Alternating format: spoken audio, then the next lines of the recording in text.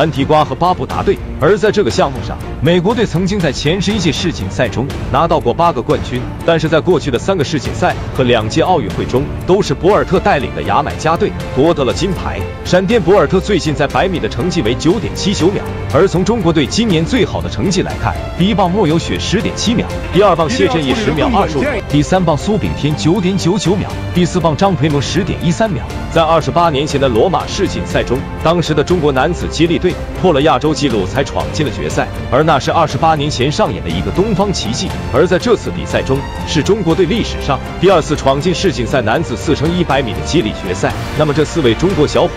能否创造奇迹呢？好比赛开始我要选第八名加速。第九道第九道处理好一二棒交接一二棒交接一定要非常完美。先练习先练习。接一二棒也不错。控制好速度不要受到其他队友的影